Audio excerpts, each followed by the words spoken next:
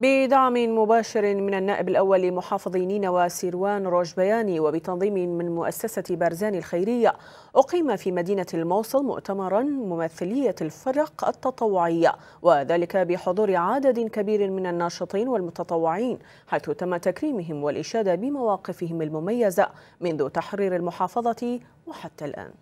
في الحقيقة للشباب نينوى كان لهم دور مهم آه لدعم أهلهم ومحافظهم في محافظة نينوى حتى في الإعمار اليوم نرى هنا للأسف هنا وهناك هناك من يدعون بأن فلان جهة هم مهندس الإعمار لمدينة الموصل أو فلان شخص مهندس إعمار لمدينة الموصل. مدينة الموصل مهندس إعمارها بأهلها.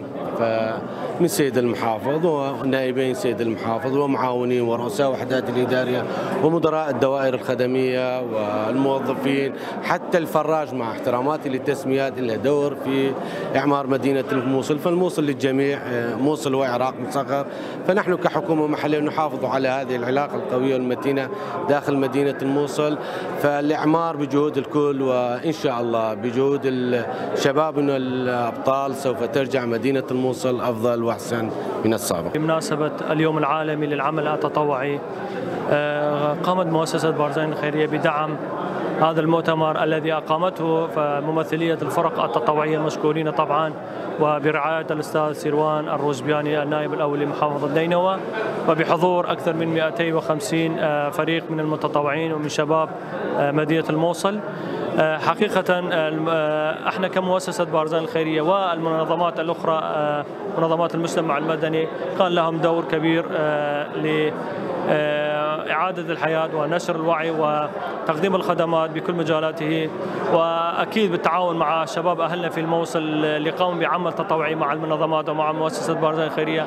فكان لهم جهود جبارة وكان لهم دور بارز حقيقة جهودهم كانت سبيل في سبيل أن تكون مدينة الموصل أجمل وأجمل. من عام 2014 بديت اشتغل بمجال المجتمع المدني خاصة عمل التطوعي.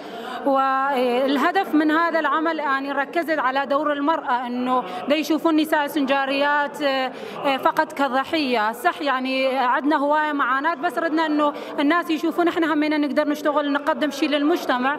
وأنا دا أشوف هسه إنه الفرق التطوعية والناشطين يقدرون يقدمون للمجتمع أكثر من الحكومة حقيقة. هسه بمنطقه مالتنا دور الحكومة دور المجتمع الدولي كلش ضعيف اتجاه مثلا قضية اليزيديه اتجاه مختطفات اليزيديات المقابر الجماعية. فإحنا لازم يكون عندنا الصوت إحنا لازم نشتغل نعتمد على نفسنا حتى نقدر يعني نبني المجتمع.